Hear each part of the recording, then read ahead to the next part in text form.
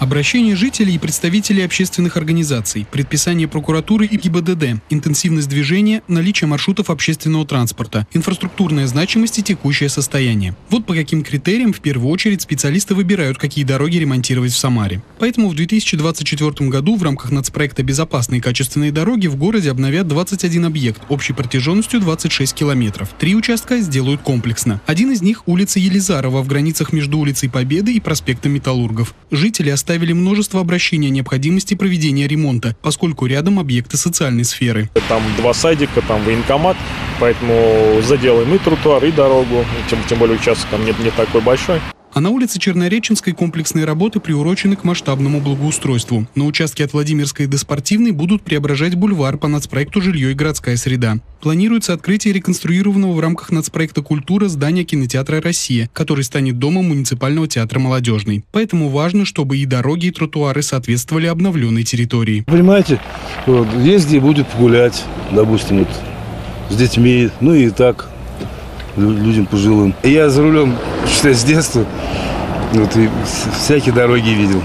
Ну, когда, когда дорога хорошая и приятно ехать, и душа радуется. На улице Чернореченской специалисты также планируют все воздушные линии электропередач перенести под землю. Комплексно отремонтируют и улицу Куйбышева в границах улиц Венцика и Вилоновской. В этом году ресурсники перекладывали коммуникации под улицей, и часть работ по восстановлению благоустройства уже выполнили. В 2024 предстоят ремонтные работы, чтобы привести в порядок весь оставшийся участок улицы, которая так любима горожанами и гостями города. Вопрос целесообразности тех или иных видов работ один из ключевых. Бюджетные средства не тратятся впустую, если в этом нет необходимости недвижимости. Специалисты также поясняют, при комплексном ремонте от фасада до фасада обновят не только автодороги, отремонтируют также тротуары, газоны, смонтируют новый бортовой камень. Помимо этого, как и на всех остальных участках в разных районах города, заменят люки смотровых и дождеприемных колодцев. Крышки смотровых колодцев сделают антивандальными, бесшумными. На каждом этапе работ по нацпроекту традиционно муниципальными службами будет осуществляться контроль. За это будет ответственным заказчик, Департамент городского хозяйства и экологии и его подведомственное учреждение МБУ «Дорожное хозяйство». В составе МБУ э, лаборатория,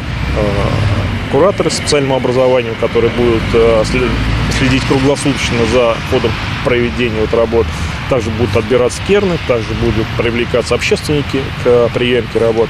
18 объектов отремонтируют картами свыше 100 погонных метров захватом всей проезжей части. К таким объектам относятся участки улиц Нововокзальной, Врубеля, Садовой, Алматинской, Силовой, 4 проезда, Зубчининовского шоссе и другие. Независимо от вида ремонта, если после фрезерования старого полотна дорог будут выявлены ослабленные места основания, их усилят. Уже в третьей декаде января планируется заключить два муниципальных контракта. Таким образом, задолго до старта нового дорожно-строительного сезона подрядные организации будут определены, и у них будет возможность подготовиться к предстоящим работам. С перечнем объектов, запланированных карточному и комплексному ремонту в Самаре в рамках дорожного нацпроекта в 2024 году, можно ознакомиться на официальном сайте городской администрации. Андрей Горгуленко, Николай Пифанов. События.